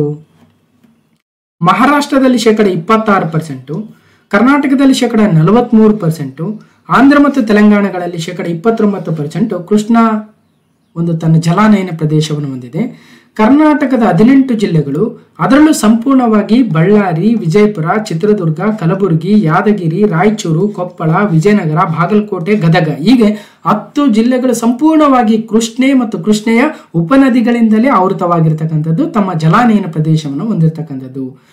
ಭಾಗಶವಾಗಿ ಬೆಳಗಾವಿ, ಧಾರವಾಡ, ಚಿಕ್ಕಮಗಳೂರು, ಶಿವಮೊಗ್ಗ, ಹಾಸನ, ತುಮಕೂರು, ಚಿಕ್ಕಬಳ್ಳಾಪುರ ಮತ್ತು ಬೀದರ್ಗಳಲ್ಲೂ ಕೂಡ ಒಂದು ಸ್ವಲ್ಪ ಭಾಗ ಕೃಷ್ಣಾ ನದಿ ಮತ್ತು ಅದರ ಉಪನದಿಗಳ ಜಲಾನಯನ ಪ್ರದೇಶವನ್ನು ಹೊಂದಿರತಕ್ಕಂಥವಾಗ್ತವೆ. ಹೀಗೆ ಸುಮಾರು ಮೂವತ್ತೊಂದು ಜಿಲ್ಲೆಗಳಲ್ಲಿ ಗಮನಿಸಬೇಕು, ಹದಿನೆಂಟು ಜಿಲ್ಲೆಗಳು ಕೃಷ್ಣೆಯಿಂದ ಆವೃತವಾಗಿದ್ದಾವೆ ಅಥವಾ ಒಂದಷ್ಟು ಭಾಗವನ್ನು ಕೂಡ ಹೊಂದಿದ್ದಾವೆ ಅಂತಕ್ಕಂಥದ್ದು. ಓಕೆ ನೋಡಿ, ಇಲ್ಲಿ ಗಮನಿಸ್ಬೋದು, ಇಲ್ಲಿಂದ ಸ್ಟಾರ್ಟ್ ಆಗುತ್ತೆ. ಸೊ ಇದು ಮುಂದೆ ಹರಿದು ಹೋಗಿ ಯಾವುದು ನಮ್ಮ ಏನಂತೀವಿ, ಮಾರಿಕಣಿವೆ ಡ್ಯಾಮ್ ಇದೆಯಲ್ವಾ? ವೇದಾವತಿ ನದಿ. ಸೊ ಮುಂದೆ ಹರಿದು ಹೋಗಿ ತುಂಗಭದ್ರಾ ನದಿಯನ್ನು ಸೇರುತ್ತೆ. ಇಷ್ಟೆಲ್ಲ ಪ್ರದೇಶವೂ ಕೂಡ ಈ ಕಡೆ ಉತ್ತರ ಕರ್ನಾಟಕವನ್ನು ತೆಗೆದುಕೊಂಡಾಗ ಇಷ್ಟು ಪ್ರದೇಶ. ಹೀಗಾಗಿ ಕರ್ನಾಟಕದ ಅತಿ ದೊಡ್ಡ ನದಿ ಕೃಷ್ಣಾ ನದಿ ಆಗುತ್ತೆ. ಓಕೆ ಸರಿ. ಹಾ ಸೊ ಇಲ್ಲಿ ಗಮನಿಸಬಹುದು, ಇದು ಕೃಷ್ಣಾ ನದಿಯಿಂದ ಉಂಟಾಗಿರ್ತಕ್ಕಂಥ ಜಲಾನಯನ ಪ್ರದೇಶ. ರೈಟ್ ಇದು ಗೋದಾವರಿ ನದಿಯಿಂದ ಉಂಟಾಗಿರ್ತಕ್ಕಂಥ ಜಲಾನಯನ ಪ್ರದೇಶ. ಅಥವಾ ನಾವೇನು ಅನ್ಬೋದು ಇದನ್ನ ಮಾಂಜ್ರಾ ಮತ್ತು ಕಾರಂಜ ನದಿಗಳ ಜಲಾನಯನ ಪ್ರದೇಶ. ಇನ್ನು ಪಶ್ಚಿಮಕ್ಕೆ ಹರಿತಕ್ಕಂಥ ನದಿಗಳ ಜಲಾನಯನ ಪ್ರದೇಶವನ್ನು ಈ ಭಾಗದಲ್ಲಿ, ಇನ್ನು ಕಾವೇರಿ ಜಲಾನಯನ ಪ್ರದೇಶ ಇಲ್ಲಿ, ಮತ್ತು ನಾವು ದಕ್ಷಿಣ ಪೆನ್ನಾರು, ಉತ್ತರ ಪೆನ್ನಾರು ಮತ್ತು ಪಾಲಾರ್ ನದಿ ವ್ಯವಸ್ಥೆಗಳನ್ನು ಕೂಡ ನೋಡ್ಬೋದು. ಓಕೆ ಹೀಗೆ ಕೃಷ್ಣಾ ನದಿ ಅತಿ ದೊಡ್ಡ ಉಪನದಿ ಅಂದರೆ ತುಂಗಭದ್ರಾ ನದಿ ಆಗುತ್ತೆ, ಜಲಾನಯನ ಪ್ರದೇಶವನ್ನು ತೆಗೆದುಕೊಂಡಾಗ. ಇನ್ನು ಕೃಷ್ಣಾ ನದಿ ಉದ್ದದ ನದಿ ಅಂದರೆ ಭೀಮಾ ನದಿ ಆಗುತ್ತೆ ಎಂಟುನೂರ ಅರವತ್ತೊಂದು ಕಿಲೋಮೀಟರ್ ಹರಿದು ಬರುತ್ತೆ. ಜೊತೆಗೆ ಸಾಂಗ್ಲಿ ಬಳಿ ಸಂಗಮವಾಗುವ ಕೃಷ್ಣಾ ನದಿ ಉಪನದಿಗಳು ಯಾವ್ಯಾವ ಅಂತ ಕೇಳ್ತಾರೆ? ಪಂಚಗಂಗಾ, ವರ್ಣ ಮತ್ತು ಎರ್ಲಾಗಳು. ಕೂಡಲ ಸಂಗಮದಲ್ಲಿ ಕೃಷ್ಣೆಯನ್ನು ಸೇರ್ತಕ್ಕಂಥ ನದಿ ಮಲಪ್ರಭಾ. ಮತ್ತು ಕೃಷ್ಣ ಗೋದಾವರಿ ನದಿಗಳ ನದಿಮುಖಜ ಭೂಮಿಯನ್ನ ಭಾರತದ ಭತ್ತದ ಕಣಜ ಅಥವಾ ರೈಸ್ ಗ್ರಾನರಿ ಆಫ್ ಇಂಡಿಯಾ ಅಂತ ಕರಿತೀವಿ. ಇದೆಲ್ಲವನ್ನು ನೋಡಿದ್ವಿ. Bachawat commission, justice Brijesh Kumar tribunal ಇನ್ನು ಯಾವ್ಯಾವ ಟ್ರಿಬ್ ಯಾವ್ಯಾವ ಟ್ರಿಬ್ಯೂಟರೀಸ್ ಅಥವಾ ಬೇರೆ ಬೇರೆ ಉಪನದಿಗಳು ಯಾವ್ಯಾವ ಇದಾವೆ ಅಂದ್ರೆ ಕೊಯ್ನಾ, ಪಂಚಗಂಗಾ ದೂದಗಂಗಾ ಘಟಪ್ರಭಾ, ಮಲಪ್ರಭಾ, ಭೀಮಾ, ತುಂಗಭದ್ರಾ, ದಿಂಡಿ ಪೆದ್ದವಾಗು ಹಾಲಿಯ ಮೂಸಿ, ಪಾಲೇರು, ಮುನ್ನೇರು ಹೀಗೆ ಸಾಕಷ್ಟು ಉಪನದಿಗಳನ್ನು ಹೊಂದಿದೆ. ಅದರಲ್ಲೂ ಪ್ರಮುಖವಾಗಿ ಕೃಷ್ಣ, ತುಂಗಭದ್ರಾ, ಘಟಪ್ರಭಾ, ಭೀಮಾ, ಮಲಪ್ರಭಾ ವೇದಾವತಿಗಳನ್ನು ಪ್ರಮುಖವಾಗಿರ್ತಕ್ಕಂಥ ಒಂದು ಉಪನದಿಗಳನ್ನು ಹೊಂದಿದೆ. ಅವುಗಳು ಎಲ್ಲಿ ಉಗಮವಾಗ್ತವೆ, ಎಲ್ಲಿ ಸಂಗಮವಾಗ್ತವೆ ಅನ್ನೋದನ್ನು ಕೂಡ ಕೊಟ್ಟಿದ್ದೀನಿ. ಜೊತೆಗೆ ನಮ್ಮ ಕರ್ನಾಟಕದಲ್ಲಿ ಅವುಗಳು ಅರಿತಕ್ಕಂಥ ಉದ್ದ ಮತ್ತು ಅವುಗಳು ಎಷ್ಟು ಜಲಾನಯನ ಪ್ರದೇಶವನ್ನು ಹೊಂದಿದ್ದಾವೆ ಅನ್ನೋದು ಕೂಡ ಗೊತ್ತಾಯಿತು. ಇನ್ನು ಮಾಜಿ ರಾಷ್ಟ್ರಪತಿ ಕೋವಿಂದ್ ನೇತೃತ್ವದಲ್ಲಿ ಸಮಿತಿ ರಚನೆ ಆಗಿದೆ ಯಾವುದಕ್ಕೆ ಅಂದ್ರೆ ಒಂದು ದೇಶ, ಒಂದು ಚುನಾವಣೆ. ಒನ್ ಕಂಟ್ರಿ, ಒನ್ ಎಲೆಕ್ಷನ್ ಬಹಳಷ್ಟು ಇದೆ. ಹಾಗಾಗಿ ಪಿ ಎಸ್ ಐ ಎಕ್ಸಾಮ್ ಅಥವಾ ಕೆ ಎಸ್ ಎಕ್ಸಾಮ್, ಇವುಗಳಲ್ಲಿ ಎಸ್ ಎನ ಕಂಪಲ್ಸರಿ ಎಕ್ಸ್ಪೆಕ್ಟ್ ಮಾಡ್ಬೋದು. ವೆರಿ ವೆರಿ ಇಂಪಾರ್ಟೆಂಟು ಒಂದು ದೇಶ, ಒಂದು ಚುನಾವಣೆ ನಮ್ಮ ದೇಶಕ್ಕೆ ಅನುಕೂಲವೇ? ನಿಮ್ಮ ಒಂದು ಅಭಿಪ್ರಾಯಗಳನ್ನು ಮುಕ್ತವಾಗಿ ಚರ್ಚಿಸಿ. ಅಥವಾ ಒಂದು ದೇಶ, ಒಂದು ಚುನಾವಣೆ, ದೇಶಕ್ಕೆ ಮಾರಕ. ನಿಮ್ಮ ಅಭಿಪ್ರಾಯ ಚರ್ಚಿಸಿ. ಒಂದು ದೇಶ, ಒಂದು ಚುನಾವಣೆ, ದೇಶಕ್ಕೆ ಒಳ್ಳೆಯದು. ನಿಮ್ಮ ಅಭಿಪ್ರಾಯ ಚರ್ಚಿಸಿ. ಸೊ ಈ ರೀತಿಯಾಗಿ ಕೊಡ್ಬೋದು. ಸೊ ಇದನ್ನ ನಾವು ಇಲ್ಲಿ ಪ್ರಿಲಿಮ್ಸ್ ಪರ್ಸ್ಪೆಕ್ಟಿವ್ ಅಲ್ಲಿ ಏನು ನೋಡಬಹುದು ಅಂದ್ರೆ, ಇತ್ತೀಚೆಗೆ ಒಂದು ದೇಶ, ಒಂದು ಚುನಾವಣೆಗೆ ತಮ್ಮ ಅಧ್ಯಯನ ವರದಿಯನ್ನು ನೀಡಲು ಕೇಂದ್ರ ಸರ್ಕಾರವು ಯಾರ ನೇತೃತ್ವದಲ್ಲಿ ಸಮಿತಿಯನ್ನ ರಚನೆ ಮಾಡಿದೆ ಅಂತ ಕೇಳಬಹುದು. ಸಿಂಪಲ್ ಆಗಿ ಮಾಜಿ ರಾಷ್ಟ್ರಪತಿಗಳಾಗಿರ್ತಕ್ಕಂಥ ರಾಮನಾಥ್ ಕೋವಿಂದ್ ಅವರ ನೇತೃತ್ವದಲ್ಲಿ. ಒಂದು ದೇಶ, ಒಂದು ಚುನಾವಣೆ. ಮಾಜಿ ರಾಷ್ಟ್ರಪತಿ ಕೋವಿಂದ್ ನೇತೃತ್ವದಲ್ಲಿ ಸಮಿತಿ ರಚನೆ ಪರ ವಿರೋಧಗಳ ಚರ್ಚೆ ಆಗುತ್ತೆ. ರಾಜ್ಯ ವಿಧಾನಸಭೆಗಳು ಲೋಕಸಭೆಗೆ ಏಕಕಾಲಕ್ಕೆ ಚುನಾವಣೆ ನಡೆಸುವ ಉದ್ದೇಶದಿಂದ ಒಂದು ದೇಶ, ಒಂದು ಚುನಾವಣೆಯ ಕಾರ್ಯ ಸಾಧ್ಯತೆ ಪರಿಶೀಲನೆಗಾಗಿ ಕೇಂದ್ರ ಸರ್ಕಾರವು ಮಾಜಿ ರಾಷ್ಟ್ರಪತಿ ರಾಮನಾಥ್ ಕೋವಿಂದ್ ಅವರ ನೇತೃತ್ವದಲ್ಲಿ ಸಮಿತಿಯನ್ನ ರಚಿಸಿದೆ. ಸಮಿತಿ ರಚಿಸಿದ ಬೆನ್ನಲ್ಲೇ ಒಂದು ದೇಶ, ಒಂದು ಚುನಾವಣೆ ಕುರಿತು ಪರ ವಿರೋಧಗಳ, ಅಭಿಪ್ರಾಯಗಳು ವ್ಯಕ್ತವಾಗ್ತಾ ಇದ್ದಾವೆ ಬಿಜೆಪಿ ನೇತೃತ್ವದ ಆಡಳಿತ ಇರ್ತಕ್ಕಂಥ ರಾಜ್ಯಗಳ ಮುಖ್ಯಮಂತ್ರಿಗಳು ಅದನ್ನ ಸ್ವಾಗತ ಮಾಡಿದರೆ ಕಾಂಗ್ರೆಸ್ ಸೇರಿದಂತೆ ವಿರೋಧ ಪಕ್ಷಗಳು ಇರ್ತಕ್ಕಂಥ ರಾಜ್ಯ ಸರ್ಕಾರಗಳು ವಿರೋಧ ಮಾಡಿದ್ದೇವೆ ಅದು ಸಾಮಾನ್ಯ. ಅಲ್ವಾ? ಸಾವಿರದ ಒಂಬೈನೂರ ಅರವತ್ತೇಳರವರೆಗೆ ಲೋಕಸಭೆ ಮತ್ತು ರಾಜ್ಯ ವಿಧಾನಸಭೆಗಳ ಚುನಾವಣೆಗಳು ಏಕಕಾಲಕ್ಕೆ ನಡೆಸಲಾಗುತ್ತಿತ್ತು. ಇದೇ ಮಾದರಿಯಲ್ಲಿ ಈಗ ಏಕಕಾಲಕ್ಕೆ ಚುನಾವಣೆಗಳನ್ನು ನಡೆಸಲು ಸಾಧ್ಯವೇ? ಈ ನಿಟ್ಟಿನಲ್ಲಿ ಅನುಸರಿಸಬೇಕಾಗಿರ್ತಕ್ಕಂತಹ ವಿಧಾನ ಕಾರ್ಯಸಾಧುವೆ ಎಂಬ ಬಗ್ಗೆ ಪರಿಶೀಲಿಸುವ ಒಂದು ವರದಿಯನ್ನು ನೀಡಲು ಇವತ್ತು ಮಾಜಿ ರಾಷ್ಟ್ರಪತಿಗಳಾಗಿರ್ತಕ್ಕಂಥ ರಾಮನಾಥ್ ಕೋವಿಂದ್ ಅವರ ನೇತೃತ್ವದಲ್ಲಿ ಒಂದು ಸಮಿತಿಯನ್ನು ಕೇಂದ್ರ ಸರ್ಕಾರ ರಚನೆ ಮಾಡಿದೆ. ಆ ಸಮಿತಿ ಬಗ್ಗೆ ಮುಂದೆ ನೋಡೋಣ. ಈಗ ಏನೇನು ಸಾಧ್ಯಾಸಾಧ್ಯತೆಗಳ ಬಗ್ಗೆ ನೋಡೋಣ. ಇಲ್ಲಿ ಏನು ಹೇಳ್ತಾ ಇದೆ ಸರ್ಕಾರ ಅಂದ್ರೆ, ನಿರಂತರವಾಗಿ ಚುನಾವಣೆಗಳು ನಡೆಯುವುದರಿಂದ ಅಪಾರ ಅಣವ್ಯಯವಾಗಿ ಅಭಿವೃದ್ಧಿ ಕುಂಠಿತಗೊಳ್ಳುತ್ತದೆ. ಏಕಕಾಲಕ್ಕೆ ಚುನಾವಣೆಗಳನ್ನು ನಡೆಸುವುದರಿಂದ ಈ ಎಲ್ಲಾ ತೊಂದರೆ ತಪ್ಪಿಸಬಹುದು ಎಂದು ಕಾರಣಗಳನ್ನ ಕೇಂದ್ರ ಸರ್ಕಾರ ನೀಡ್ತಾ ಇದೆ. ಇನ್ನು ವಿರೋಧ ಪಕ್ಷಗಳು ಏನು ಹೇಳ್ತಾ ಇದ್ದೇವೆ ಒಂದು ದೇಶ, ಒಂದು ಚುನಾವಣೆ ಕಾರ್ಯ ಸಾಧ್ಯತೆ ಪರಿಶೀಲನೆಗೆ ಸಮಿತಿ ರಚಿಸಿರುವ ಕೇಂದ್ರದ ನಡೆಯನ್ನು ವಿರೋಧ ಪಕ್ಷಗಳು ಖಂಡಿಸಿದ್ದು, ಕೇಂದ್ರ ಸರ್ಕಾರದ ಈ ನಡೆ ದೇಶದ ಒಕ್ಕೂಟ ವ್ಯವಸ್ಥೆಗೆ ಅಪಾಯ ಒಡ್ಡುತ್ತೆ ಅಂತ ಹೇಳ್ತಾ ಇದ್ದೇವೆ. ದೇಶದ ಜ್ವಲಂತ ಸಮಸ್ಯೆಗಳಿಂದ ಜನರನ್ನ ಬೇರೆಡೆ ಸೆಳೆಯುವ ತಂತ್ರ, ಸರ್ವಾಧಿಕಾರಿ ಧೋರಣೆ ಈ ಸರ್ಕಾರದ ಪತನ ಖಚಿತ ಅಂತ ಒಟ್ಟಿನಲ್ಲಿ ವಿರೋಧ ಪಕ್ಷಗಳು ತಮ್ಮದೇ ವಾದ ಮಂಡಿಸ್ತವೆ. ಆಡಳಿತ ಪಕ್ಷ ತಮ್ಮ ವಾದ ಮಂಡಿಸುತ್ತೆ. ಇವೆಲ್ಲವುಗಳನ್ನು ಗಮನಿಸಿ, ಅದರಲ್ಲಿ ನಾವು ಪಾಯಿಂಟ್ಸ್ಗಳನ್ನ ನೋಟ್ ಮಾಡ್ಕೊಂತ ಹೋಗ್ಬೇಕು. ಅಲ್ಲಿ ನಮ್ಮದೇ ಆಗಿರ್ತಕ್ಕಂಥ ನಿಲುವುಗಳನ್ನ, ಸಾಧ್ಯಾಸಾಧ್ಯತೆಗಳನ್ನ ಪರ ವಿರೋಧಗಳನ್ನು ಪಾಯಿಂಟ್ಸ್ಗಳನ್ನು ಹಾಕಿ ಹಾಕಿ ಉತ್ತಮವಾಗಿರ್ತಕ್ಕಂಥ ಎಸ್ಸೆಯನ್ನ ಬರಿಬೇಕಾಗುತ್ತೆ. ಇದು ಪರ ವಿರೋಧ ಚರ್ಚೆ ಆದರೆ ಅದಕ್ಕೆ ಬೇಕಾಗಿರ್ತಕ್ಕಂಥ ಪೊಲಿಟಿಕಲ್ ಅಥವಾ ನಮ್ಮ ಸಾಂವಿಧಾನಿಕ ತಿದ್ದುಪಡಿಗಳು ಏನು ಬೇಕು, ಅವುಗಳನ್ನು ಕೂಡ ಕೋಟ್ ಮಾಡಬೇಕು. ಬರೀ ಪರ ವಿರೋಧ ಬರೆದ್ರೆ ಸಾಕಾಗೋದಿಲ್ಲ. ಯಾರು ಬೇಕಾದ್ರೂ ಬರೀತಾರೆ. ಇನ್ನು ಐದು ತಿದ್ದುಪಡಿಗಳ ಅಗತ್ಯವಾಗುತ್ತೆ. ಸೊ ಏಕಕಾಲಕ್ಕೆ ಚುನಾವಣೆಗಳನ್ನು ನಡೆಸುವುದಕ್ಕಾಗಿ ಸಂವಿಧಾನಕ್ಕೆ ಐದು ತಿದ್ದುಪಡಿಗಳನ್ನು ತರಬೇಕಾಗುತ್ತೆ. ಹೆಚ್ಚುವರಿಯಾಗಿ ಬೃಹತ್ ಸಂಖ್ಯೆಯ ಇವಿಎಂಗಳು ವಿ ವಿ ಪ್ಯಾಟ್ ಯಂತ್ರಗಳು ಕೂಡ ಅಗತ್ಯವಾಗ್ತವೆ. ಇದಕ್ಕೆ ಕೋಟ್ಯಾಂತರ ರೂಪಾಯಿ ಬೇಕಾಗುತ್ತೆ. ಸಂವಿಧಾನದ ಎಂಬತ್ಮೂರನೇ ವಿಧಿ ಸಂಸತ್ತಿಗೆ ಅವಧಿಗೆ ಸಂಬಂಧಿಸಿರ್ತಕ್ಕಂಥದ್ದು. ಮತ್ತು ಎಂಬತ್ತೈದನೇ ವಿಧಿ ರಾಷ್ಟ್ರಪತಿಯಿಂದ ಲೋಕಸಭೆಯ ವಿಸರ್ಜನೆ. ನೂರ ಎಪ್ಪತ್ತೆರಡನೇ ವಿಧಿ ರಾಜ್ಯಗಳ ಅವಧಿಗೆ ಸಂಬಂಧಿಸಿರ್ತಕ್ಕಂಥದ್ದು, ನೂರ ಎಪ್ಪತ್ನಾಲ್ಕನೇ ವಿಧಿ ವಿಧಾನಸಭೆಗಳ ವಿಸರ್ಜನೆ. ಹಾಗೂ ರಾಜ್ಯಗಳಲ್ಲಿ ರಾಷ್ಟ್ರಪತಿ ಆಳ್ವಿಕೆಗೆ ಜಾರಿಗೊಳಿಸುವುದಕ್ಕಿರ್ತಕ್ಕಂಥ ಮುನ್ನೂರ ಐವತ್ತಾರನೇ ವಿಧಿಗೂ ಕೂಡ ತಿದ್ದುಪಡಿಯನ್ನು ತರಬೇಕಾಗುತ್ತೆ. ಸೊ ಎಂಬತ್ಮೂರನೇ ಆರ್ಟಿಕಲ್ಲು, ಎಂಬತ್ತೈದು, ನೂರ ಎಪ್ಪತ್ನಾಲ್ಕು, ನೂರ ಎಪ್ಪತ್ತೆರಡು ಮತ್ತು ಮುನ್ನೂರ ಐವತ್ತಾರು ಈ ಆರ್ಟಿಕಲ್ಗಳು ಏನು ಅಂತ ನೀವೇ ಹೋಗಿ ನೋಡ್ಕೊಂಡು ಎಸ್ಸೆಗೆ ರೆಡಿ ಮಾಡ್ಕೋಬೇಕು. ಓಕೆ ಇಷ್ಟು ಹೇಳಿದ್ದೀನಿ ಒಂದು ದೇಶ, ಒಂದು ಚುನಾವಣೆಗೆ ಮೊದಲ ಹೆಜ್ಜೆ. ಕೋವಿಂದ್ ನೇತೃತ್ವದಲ್ಲಿ ಒಟ್ಟು ಎಂಟು ಸದಸ್ಯರ ಉನ್ನತ ಮಟ್ಟದ ಸಮಿತಿ H L C high level committee ಅಂತ ಕರಿತೀವಿ. ಯಾರ್ಯಾರಿದ್ದಾರೆ? ರಾಮನಾಥ್ ಕೋವಿಂದ್ ಅವರು ಮಾಜಿ ರಾಷ್ಟ್ರಪತಿಗಳು ಮುಖ್ಯಸ್ಥರು, ಉನ್ನತ ಮಟ್ಟದ ಸಮಿತಿದು. ಅಮಿತ್ ಶಾ ರವರು ಕೇಂದ್ರದ ಗೃಹ ಸಚಿವರು ಸದಸ್ಯರಾಗಿರ್ತಾರೆ. ಅಧೀರ್ ರಂಜನ್ ಚೌಧರಿ ರವರು ಲೋಕಸಭೆಯಲ್ಲಿ ಕಾಂಗ್ರೆಸ್ನ ಸಂಸದೀಯ ನಾಯಕರು ಸದಸ್ಯರಾಗಿರ್ತಾರೆ. ಮತ್ತು ಗುಲಾಂ ನಬಿ ಆಜಾದ್ ಅವರು ರಾಜ್ಯಸಭೆಯ ಮಾಜಿ ಪ್ರತಿಪಕ್ಷ ನಾಯಕರಾಗಿದ್ದರು ಸದಸ್ಯರಾಗಿರ್ತಾರೆ. ಎನ್ ಕೆ ಸಿಂಗ್ ಅವರು ಹಣಕಾಸು ಆಯೋಗದ ಮಾಜಿ ಮುಖ್ಯಸ್ಥರು, ಫಿಫ್ಟೀನ್ ಫೈನಾನ್ಸ್ ಕಮಿಷನ್ ಚೇರ್ಮನ್ ಆಗಿದ್ದರು, ಅವರು ಸದಸ್ಯರಾಗಿರ್ತಾರೆ. ಹೀಗೆ ಸುಭಾಷ್ ಕಶ್ಯಪ್ ಅವರು ಲೋಕಸಭೆ ಮಾಜಿ ಪ್ರಧಾನ ಕಾರ್ಯದರ್ಶಿ, ಹರೀಶ್ ಸಾಳ್ವೆ ಹಿರಿಯ ವಕೀಲರು, ಸಂಜಯ್ ಕೊಠಾರಿ ಪ್ರಧಾನ ವಿಚಕ್ಷಣಾ ದಳದ ಮಾಜಿ ಆಯುಕ್ತರು, ಅರ್ಜುನ್ ರಾಮ್ ಮೇಘಾವಾಲ್ ಕೇಂದ್ರದ ಕಾನೂನು ಸಚಿವ, ವಿಶೇಷ ಆಹ್ವಾನಿತರಾಗಿರ್ತಾರೆ. ನಿತಿನ್ ಚಂದ್ರ ಕಾನೂನು ವ್ಯವಹಾರಗಳ ಇಲಾಖೆ ಕಾರ್ಯದರ್ಶಿ, ಎಚ್ ಎಲ್ ಸಿ ಕಾರ್ಯದರ್ಶಿ ಆಗಿರ್ತಾರೆ ಇದು ಕೇವಲ ಮೊದಲನೇ ಸಮಿತಿಯೂ ಕೂಡ ಅಲ್ಲ. ಇಲ್ಲಿ ಗಮನಿಸಬೇಕು, ನಾಲ್ಕನೇ ಸಮಿತಿಯಿಂದ ಏನಾದರೂ ಯಶಸ್ವಿ ಸೂತ್ರ ಸಾಧ್ಯವೇ? ಎರಡ್ ಸಾವಿರದ ಹದಿನಾರರಿಂದ ಒಂದು ದೇಶ, ಒಂದು ಚುನಾವಣೆ ರೂಪುರೇಷೆ ರಚನೆಗಾಗಿ ಕೇಂದ್ರದಿಂದ ಮೂರು ಸಮಿತಿಗಳನ್ನು ರಚಿಸಲಾಗಿದೆ. ಮೊದಲು ಸಂಸದೀಯ ಸ್ಥಾಯಿ ಸಮಿತಿಯಾಗಿತ್ತು ಬಳಿಕ ಕಾನೂನು ಆಯೋಗದ ಸಮಿತಿ ಆಯಿತು, ನಂತರ ನೀತಿ ಆಯೋಗದ ಸಮಿತಿಗಳು ಕೂಡ ಸಾಧ್ಯತೆ, ಬಾಧ್ಯತೆಗಳ ಬಗ್ಗೆ ಅಧ್ಯಯನ ನಡೆಸಿದವೆ. ಈಗ ಮಾಜಿ ರಾಷ್ಟ್ರಪತಿ ರಾಮನಾಥ್ ಕೋವಿಂದ್ ಅವರ ನೇತೃತ್ವದಲ್ಲಿ ರಚನೆಯಾಗಿರ್ತಕ್ಕಂಥ ಸಮಿತಿ ನಾಲ್ಕನೇ ಸಮಿತಿ ಆಗುತ್ತೆ ಹೀಗೆ ಒಂದು ದೇಶ, ಒಂದು ಚುನಾವಣೆ ಮಾಡೋದು ಸುಲಭನ ಅಂದ್ರೆ ಯಾವುದೇ ಆಗಲಿ ಅದರದೇ ಆಗಿರ್ತಕ್ಕಂಥ ನಷ್ಟ, ಕಷ್ಟಗಳು ಇದ್ದೇ ಇರ್ತವೆ. ಓಕೆ ಒಂದು ಕಡೆ. ಇನ್ನೊಂದು ಕಡೆ, ಎಚ್ ಎಲ್ ಸಿ ಹೊಣೆಗಾರಿಕೆ ಏನಿದೆ? ಅತಂತ್ರ ವಿಧಾನಸಭೆ ಹಿನ್ನೆಲೆಯಲ್ಲಿ ಉದ್ಭವಿಸುವ ಸರಣಿ ಚುನಾವಣೆಗಳಿಗೆ ಸೂಕ್ತ ಪರಿಹಾರ ಏನ್ ಕೊಡಬೇಕು? ಅಲ್ವಾ? ಈಗೇನೋ ಒಂದೇ ಸಲಕ ಚುನಾವಣೆಗೆ ಹೋಗ್ಬಿಟ್ರು. ಅದಾದ್ಮೇಲೆ ಯಾವುದೋ ಒಂದು ರಾಜ್ಯದಲ್ಲಿ ಮೆಜಾರಿಟಿನೇ ಬರೋದಿಲ್ಲ. ಮತ್ತೇನ್ ಮಾಡೋಕೆ ವಿಧಾನಸಭೆ ವಿಸರ್ಜಿಸಿ ಮತ್ತೆ ಎಲೆಕ್ಷನ್ಗೆ ಹೋಗ್ಬೇಕು. ಅವಾಗ ಏನಾಗುತ್ತೆ? ಲೋಕಸಭೆ ಅದು ಮಿಕ್ಸ್ ಆಗಲ್ಲ. ಒಂದ್ಸಲ ವಿಧಾನಸಭೆ ಬಂದ್ಬಿಟ್ರೆ ಐದು ವರ್ಷಗಳವರೆಗೆ ಇರಬೇಕು. ಅಷ್ಟೊತ್ತಿಗೆ ಲೋಕಸಭೆ ಎಲೆಕ್ಷನ್ ಬಂದ್ಬಿಡುತ್ತೆ. ಅದು ನಾಲ್ಕೇ ವರ್ಷ ಆಗಿರುತ್ತೆ. ಇನ್ನೊಂದು ವರ್ಷ ಏನು ಮಾಡಬೇಕು? ವಿಧಾನಸಭೆ ವಿಸರ್ಜಿಸಿ ಮತ್ತೆ ಎಲೆಕ್ಷನ್ಗೆ ಹೋಗ್ಬೇಕು. ಅದ್ರ ಜೊತೆಗೆ ಲೋಕಸಭೆ ಜೊತೆಗೆ. ಇವೆಲ್ಲವೂ ಬರ್ತವೆ ಚಾಲೆಂಜಸ್ ಅಲ್ವಾ?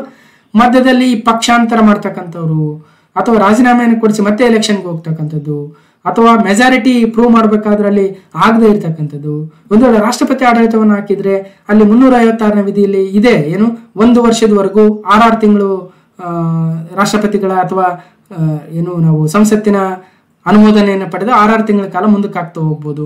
ಎಷ್ಟು ವರ್ಷಗಳ ಕಾಲ? ಮೂರು ವರ್ಷಗಳ ಕಾಲ ಆಗ್ಬೋದು. ಹೀಗೆ ಒಂದಷ್ಟು ರೂಲ್ಸ್ ಇದಾವಲ್ವಾ? ಅವುಗಳನ್ನು ಸಾಕಷ್ಟು ರೂಲ್ಸ್ಗಳನ್ನು ತಿದ್ದುಪಡಿಯನ್ನು ತರಬೇಕಾಗುತ್ತೆ. ಅದನ್ನು ನೀವು ಎಸ್ ಎಗೆ ನೋಟ್ ಮಾಡ್ಕೋಬೇಕು. ಓಕೆ ನೋಡೋಣ ಪಿ ಎಸ್ ಐ ಅಥವಾ ಕೆ ಎಸ್ ಎಕ್ಸಾಮ್ ಬಂದಾಗ ಅದಕ್ಕೆ ಸಪ್ರೇಟಾಗಿ ನಾನು ಸಾಧ್ಯ ಆದರೆ ಮಾಡ್ಕೊಡ್ತೀನಿ. ಇನ್ನು ಮೆಂಬರ್ಸ್ ಯಾರ್ಯಾರು? ವಿತ್ ಅವ್ರ ಫೋಟೋಸ್ ಇದಾವೆ ನೋಡ್ಬೋದು. ಏಷ್ಯಾ ಕಪ್ ಎರಡ್ ಸಾವಿರದ ಇಪ್ಪತ್ಮೂರರ ಪಂದ್ಯಾವಳಿಯ ಆದ್ಯತೆಯ ದೇಶಗಳು ಯಾವ್ಯಾವು? ಶ್ರೀಲಂಕಾ, ಪಾಕಿಸ್ತಾನ, ಭಾರತ, ಬಾಂಗ್ಲಾದೇಶ, ನೇಪಾಳ, ಬಾಂಗ್ಲಾದೇಶ ಇವತ್ತು ಎಲ್ಲಿ ನಡೀತಾ ಇದೆ? ಸೊ ಶ್ರೀಲಂಕಾ ಮತ್ತು ಪಾಕಿಸ್ತಾನಗಳಲ್ಲಿ ಏಷ್ಯಾ ಕಪ್ ನಡೀತಾ ಇದೆ. ಪಂದ್ಯಾವಳಿಯು ಪಾಕಿಸ್ತಾನ ಮತ್ತು ಶ್ರೀಲಂಕಾದ ನಾಲ್ಕು ಸ್ಥಳಗಳಲ್ಲಿ ಪ್ರಾರಂಭವಾಗಿದೆ. ಇದು ಹದಿನಾರನೇ ಎಡಿಷನ್ ಆಗುತ್ತೆ. ಸಿಕ್ಸ್ ಸಿಕ್ಸ್ಟೀನ್ತ್ ಆವೃತ್ತಿ ಆರು ಟೀಮ್ಗಳು ಭಾಗವಹಿಸ್ತಾ ಇದ್ದಾವೆ. ಓಕೆ ಸೊ ದ್ವೀಪ ರಾಷ್ಟ್ರದಲ್ಲಿ ಕ್ರಿಕೆಟ್ ಪ್ರೇಮಿಗಳ ಉತ್ಸಾಹ. ಸೊ ನೋಡಿದ್ದೀರಿ ಆಲ್ರೆಡಿ ನೋಡ್ತಾ ಇದ್ದೀರಿ ಕೂಡ ಮ್ಯಾಚು ಇಂಡಿಯಾ, ಪಾಕಿಸ್ತಾನ, ನೇಪಾಳ, ಶ್ರೀಲಂಕಾ, ಬಾಂಗ್ಲಾದೇಶ್ ಅಫ್ಘಾನಿಸ್ತಾನಗಳು ಭಾಗವಹಿಸ್ತಾ ಇದ್ದಾವೆ. ಏಷ್ಯನ್ ಕ್ರಿಕೆಟ್ ಕೌನ್ಸಿಲ್ ಸಾವಿರದ ಒಂಬೈನೂರ ಎಂಬತ್ಮೂರರಲ್ಲಿ ಸ್ಥಾಪನೆ ಆಗಿತ್ತು ಇಪ್ಪತ್ತೈದು ಮೆಂಬರ್ಸ್ ಇದ್ದಾರೆ. ಜೈಶಾ ಪ್ರೆಸಿಡೆಂಟ್ ಇದ್ದಾರೆ. ಏಷ್ಯನ್ ಕ್ರಿಕೆಟ್ ಕೌನ್ಸಿಲ್ನ ಪ್ರೆಸಿಡೆಂಟು ಬಿ ಸಿ ಸಿ ಐನ ಕಾರ್ಯದರ್ಶಿ ಇದ್ದಾರೆ ಜೈಶಾ ನೆನ್ಪಿಡಬೇಕು. ಇನ್ನು ಈ ಒಂದು ಎರಡ್ ಸಾವಿರದ ಇಪ್ಪತ್ತ್ಮೂರರ ಏಷ್ಯಾ ಕಪ್ಪಲ್ಲಿ ಆರು ತಂಡಗಳು ಭಾಗವಹಿಸ್ತಾ ಇದ್ದಾವೆ. ಪಾಕಿಸ್ತಾನ, ಶ್ರೀಲಂಕಾಗಳು ಹೋಸ್ಟ್ ಮಾಡ್ತಾ ಇದ್ದಾವೆ. ಆಸಿಯನ್ ಇಂಡಿಯಾ ಶೃಂಗಕ್ಕೆ ಪ್ರಧಾನಿ ಮೋದಿ ಅವರು ಹೋಗಿದ್ರು. ಆ ಒಂದು ನ್ಯೂಸು ಸೊ ಸೆಪ್ಟೆಂಬರ್ ಆರು, ಏಳರಂದು ಜಕಾರ್ತದಲ್ಲಿ ನಡೆದ ಆಗ್ನೇಯ ಏಷ್ಯಾ ರಾಷ್ಟ್ರಗಳ ಒಕ್ಕೂಟದ ಆಸಿಯನ್ ಶೃಂಗಸಭೆಯಲ್ಲಿ ಮೋದಿ ಪಾಲ್ಗೊಂಡಿದ್ರು. ಅದಾದ್ಮೇಲೆ ಭಾರತಕ್ಕೆ ಬಂದು ಜಿ ಟ್ವೆಂಟಿ ಸಭೆಯನ್ನು ಕೂಡ ಇದು ಮಾಡಿದ್ರು. ಆಸಿಯಾನ್ ಅಂದ್ರೆ ಆಗ್ನೇಯ ಏಷ್ಯಾ ರಾಷ್ಟ್ರಗಳ ಸಂಘ association of south east Asian nations so ಇಂಡೋನೇಷ್ಯಾದ ಜಕಾರ್ತಾದಲ್ಲಿ ಪ್ರಧಾನ ಕಚೇರಿ ಇದೆ. ಈಗ ಮುಖ್ಯಸ್ಥರು ಕಾವ್ ಕಿಮ್ ಔರ್ನವರು, ಇಂಡೋನೇಷ್ಯಾದವರು ಅಧ್ಯಕ್ಷರಾಗಿದ್ದಾರೆ. ಸಾವಿರದ ಒಂಬೈನೂರ ಅರವತ್ತೇಳು ಎಂಟು ಆಗಸ್ಟ್ ಅಂದು ಸ್ಥಾಪನೆ ಆಗಿತ್ತು. ಒಟ್ಟು ಹತ್ತು ದೇಶಗಳು ಇದರ ಸದಸ್ಯ ರಾಷ್ಟ್ರಗಳಾಗಿದ್ದಾವೆ. ಹನ್ನೊಂದನೇ ರಾಷ್ಟ್ರ, ಈಸ್ಟ್ ತೈಮೂರ್ ಇರಬೇಕು, ಬಟ್ ಅದಿನ್ನೂ ಕನ್ಫರ್ಮ್ ಆಗಿಲ್ಲ. ಅದಕ್ಕೋಸ್ಕರ ಅದನ್ನು ಹಾಗೆ ಹೋಲ್ಡ್ ಮಾಡ್ಕೊಂತ ಬರ್ತಾ ಇದ್ದೀವಿ ನಾನು ಆಸಿಯನ್ ವೆಬ್ಸೈಟ್ಗೆ ಹೋಗಿ ಕೂಡ ಚೆಕ್ ಮಾಡಿದೆ. ಇನ್ನೂ ಅವರು ಕೂಡ ಏನು ಅಪ್ಡೇಟ್ ಮಾಡಿಲ್ಲ. ಹಾಗಾಗಿ ಸದ್ಯಕ್ಕೆ ಅಲ್ಲೇ ಇಟ್ಕೊಳ್ಳೋಣ. ಸೊ ಅದು ಅಫಿಷಿಯಲ್ ಆಗಿ ಬಂದಾಗ ಸೇರಿಸ್ಕೊಳ್ಳೋಣ. ಈಗ ಸದ್ಯಕ್ಕೆ ಫೌಂಡಿಂಗ್ ಮೆಂಬರ್ಸ್ ಅಂದರೆ ಸಂಸ್ಥಾಪಕ ದೇಶಗಳು Indonesia, Malaysia Philippines Singapore, Thailand ಅಂದರೆ I M P S T I M P S T ಸಂಸ್ಥಾಪನೆ. ಅಂದರೆ ಫಸ್ಟ್ ಸ್ಥಾಪನೆ ಮಾಡಿದಾಗ ಐದು ದೇಶಗಳಿದ್ವು. ಅದಾದ ನಂತರ Brunei, B, C, Cambodia, L, Laos, M, Myanmar V Vietnam B C L M V ಆಮೇಲೆ ಸೇರಿದವು. ಇನ್ನು ಫಾರ್ಟಿ ಥರ್ಡ್ ಸಮಿತು ಐದರಿಂದ ಏಳು ಸೆಪ್ಟೆಂಬರ್ ಎರಡು ಸಾವಿರದ ಇಪ್ಪತ್ತ್ಮೂರು ಇಂಡೋನೇಷ್ಯಾದ ಜಕಾರ್ತದಲ್ಲಿ ನಡೆಯಿತು. ಇಷ್ಟು ಮಾಹಿತಿ. ಓಕೆ ಇನ್ನು ಯಾವ್ಯಾವ ದೇಶ ಎಲ್ಲೆಲ್ಲಿದ್ದಾವೆ ನೋಡ್ಕೋಬೋದು.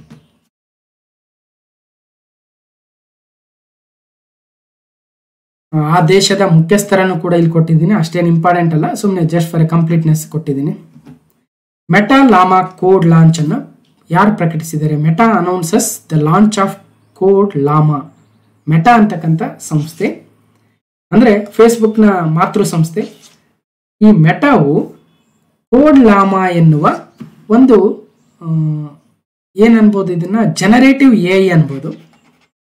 ಅಂದರೆ ನೀವೇನಾದರೂ C plus plus program C program ಅಥವಾ ಜಾವಾ ಪ್ರೋಗ್ರಾಮು ಬರೀಬೇಕು ಯಾವುದಕ್ಕೂ ಒಂದಕ್ಕೆ. ನೀವೇನಿಲ್ಲ, ಈ ಕೋಡ್ ಲಾಮವನ್ನು ಬಳಸಿ ಈಸಿಯಾಗಿ ಬರೀಬಹುದು ಸೊ ಅಂತ ಒಂದು ಜನರೇಟಿವ್ ಪ್ರೋಗ್ರಾಮಿಂಗ್ ಪ್ಲಾಟ್ಫಾರ್ಮ್ ಆಗುತ್ತೆ ಲಾಮಾ ಅದನ್ನ ಮೆಟಾದವರು ಲಾಂಚ್ ಮಾಡಿದ್ದಾರೆ ಓಕೆ ಫೇಸ್ಬುಕ್ ಮತ್ತು ಇನ್ಸ್ಟಾಗ್ರಾಮ್ನ ಮೂಲ ಕಂಪನಿಯಾದ ಮೆಟಾ ಪ್ಲಾಟ್ಫಾರ್ಮ್ಗಳು ಕಂಪ್ಯೂಟರ್ ಕೋಡ್ ಬರವಣಿಗೆಯಲ್ಲಿ ಸಹಾಯ ಮಾಡುವ ಗುರಿಯನ್ನು ಹೊಂದಿರುವ ಕೃತಕ ಬುದ್ಧಿಮತ್ತೆ ಮಾದರಿಯಾದ ಕೋಡ್ ಲಾಮಾನ ಪ್ರಾರಂಭಿಸುವುದಾಗಿ ಘೋಷಣೆಯನ್ನು ಮಾಡಿದೆ so this free a a tool based on Meta's Llama 2 language model can generate code based on the human text prompts, aid in code completion and facilitate debugging. ನಮಗೆ ಏನು ಬರಿಬೇಕು? ಈಗ suppose write a C program for adding two numbers ಅಂತ ಬರೆದ್ರೆ ಅದೇನು ಮಾಡುತ್ತೆ? So ಎರಡು program ಬರೆಯಕ್ಕೆ start ಮಾಡುತ್ತೆ. Hash include S D IO dot H hash include con IO dot H void main okay next int a comma b comma c so a is equal to ten b is equal to twenty c is equal to a plus b print F so ಈ ತರ C program start ಮಾಡಿಬಿಡುತ್ತೆ ಬರೆಯೋದಕ್ಕೆ. ನಮ್ದು ಏನು ಕೆಲಸ ಇರಲ್ಲ. ಒಂದ್ ವೇಳೆ error ಇತ್ತ ಸೊ ತಾನೇ ಡಿಬಗ್ ಮಾಡುತ್ತೆ.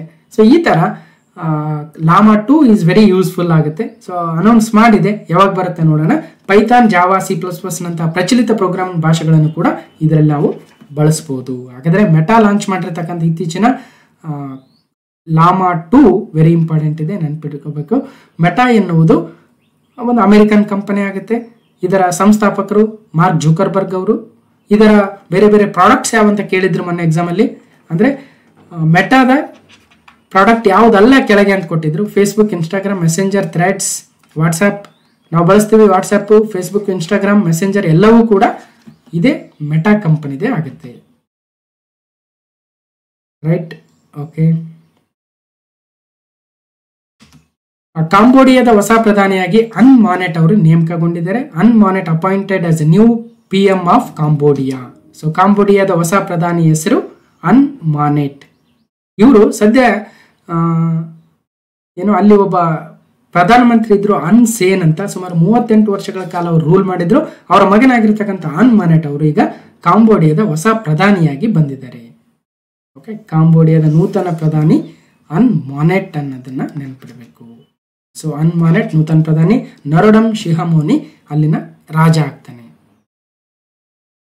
ಮಹಾರಾಷ್ಟ್ರದಿಂದ ಸ್ಥಾಪಿಸಲಾದ ಮೊದಲ ಉದ್ಯೋಗ ರತ್ನ ಪ್ರಶಸ್ತಿಯನ್ನ ಯಾರಿಗೆ ನೀಡಲಾಗಿದೆ ಅಂದ್ರೆ ರತನ್ ಟಾಟಾ, ಲಕ್ಷ್ಮೀ ಮಿತ್ತಲ್ ಮುಖೇಶ್ ಅಂಬಾನಿ, ಗೌತಮ್ ಅದಾನಿ ಅಂದ್ರೆ ರತನ್ ಟಾಟಾರವರಿಗೆ ನೂತನವಾಗಿ ಸ್ಥಾಪಿಸಲಾಗಿದ್ದಂತಹ ಉದ್ಯೋಗ ರತ್ನ ಪ್ರಶಸ್ತಿಯನ್ನ ಯಾರಿಗೆ ನೀಡಲಾಗಿದೆ ಅಂದ್ರೆ ಸೊ ಉದ್ಯಮ ಕ್ಷೇತ್ರದಲ್ಲಿನ ಅತ್ಯುತ್ತಮ ಕೆಲಸಕ್ಕಾಗಿ ಸೊ ಮಹಾರಾಷ್ಟ್ರ ರಾಜ್ಯದ ಮೊದಲ ಉದ್ಯೋಗ ರತ್ನ ಪ್ರಶಸ್ತಿಯನ್ನ ರತನ್ ಟಾಟಾರವರಿಗೆ ನೀಡಲಾಗಿದೆ. ಸರಿನಾ? ಸೊ ನೆಕ್ಸ್ಟ್ ಮಹಾರಾಷ್ಟ್ರದ ಮುಖ್ಯಮಂತ್ರಿಗಳು ಏಕನಾಥ್ ಶಿಂದೆರವರು ಮತ್ತು ರಾಜ್ಯಪಾಲರು ರಮೇಶ್ ಬಯಾಸ್ ಅವರು. ನಾಲ್ಕು ಐದು ವರ್ಷದಲ್ಲೇ ಫಸಲು ನೀಡುವ ಅಪ್ಪೆ ಮಿಡಿ ತಳಿ ಅಭಿವೃದ್ಧಿಪಡಿಸ್ತಾ ಇದ್ದಾರೆ. ಸೊ ರೈತರಿಗೆ ವರದಾನ ಆಗ್ಬೋದು. ಅಪ್ಪೆ ಮಿಡಿ ಸುದ್ದಿಲಿತ್ತು. ಇದು ಯಾಕೆ ಸುದ್ದಿಲಿದೆ? ಮತ್ತು ನಮಗೇನು ಯೂಸ್ ಅಂದರೆ ಇಲ್ಲಿ ಇಂಪಾರ್ಟೆಂಟ್ ಆಗಿರ್ತಕ್ಕಂಥದ್ದು, ಅಪ್ಪೆ ಮಿಡಿಯ ಅಂತರಂಗ ಎಲ್ಲ ಕೊಟ್ಟಿದ್ದಾರೆ. ಬಟ್ ನಮಗೇನು ಬೇಕು ಅಂದರೆ, ಅಪ್ಪೆ ಮಿಡಿಯು ಒಂದು ಕರ್ನಾಟಕದ ಜಿ ಐ ಟ್ಯಾಗನ್ನು ಪಡೆದಿರ್ತಕ್ಕಂಥ ಅಗ್ರಿಕಲ್ಚರಲ್ ಪ್ರಾಡಕ್ಟ್ ಆಗುತ್ತೆ. ಅಪ್ಪೆ ಅಥವಾ ಅಪ್ಪೆಕಾಯಿ ಅಪ್ಪೆ ಮಿಡಿ ಎಂದು ಜನಪ್ರಿಯವಾಗಿ ಕರೆಯಲ್ಪಡುವ ಇದೊಂದು ವೈಶಿಷ್ಟ್ಯಪೂರ್ಣವಾದ ಉಪ್ಪಿನಕಾಯಿಗೆಂದೇ ಬಳಸುವ ಮಾವಾಗಿದೆ. ಇವು ಸುವಾಸನ ಭರಿತವಾಗಿ ರುಚಿಕರವಾಗಿದ್ದು ಉಪ್ಪಿನಕಾಯಿ ಮಾಡಲು ಪ್ರಶಸ್ತವಾಗಿರ್ತವೆ.